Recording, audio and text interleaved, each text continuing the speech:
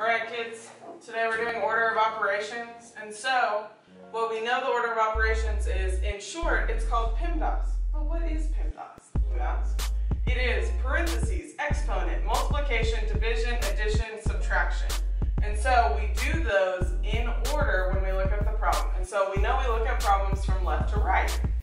And so the first thing that we look for is parentheses. We don't see any parentheses, so we go to the next one. And then we go to exponent we go to multiplication. And the funny thing about multiplication and division is that they can be flipped. So if division comes first when it's on the left, then we can do division. But if multiplication is first, like it is in this uh, problem, then we do that first. And what do we know 4 times 6 is? 24. All right. And then we're going to write the rest of the problem after that. And then we're going to go through the problem again, and we'll start with parentheses. We don't see any of this stuff. Then we go to exponent. There still isn't an exponent. And then we go back to multiplication. And we see that there's another multiplication. And what is 3 times 8? 24. All right. And so then we write the beginning again. We go minus 24. And then we're going to start again from parentheses. There's still no parentheses. Exponent. There's no exponent. Multiplication. There's no more multiplication. Division. There's no division. And then the same thing with addition and subtraction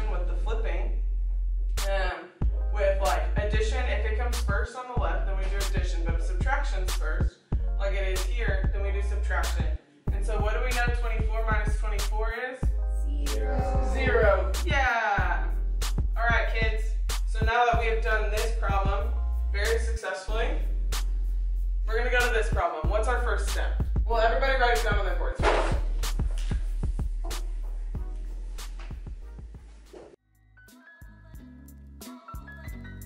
Alright, so Miss Stern says the first step is to look over